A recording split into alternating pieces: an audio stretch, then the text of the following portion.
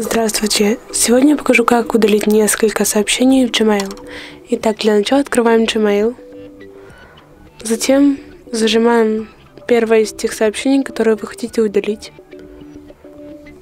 Затем выбираете остальные и нажимаете на значок мусор. И вот вы удалили эти сообщения. Подписывайтесь на канал, пишите свои вопросы в комментариях. Всего хорошего!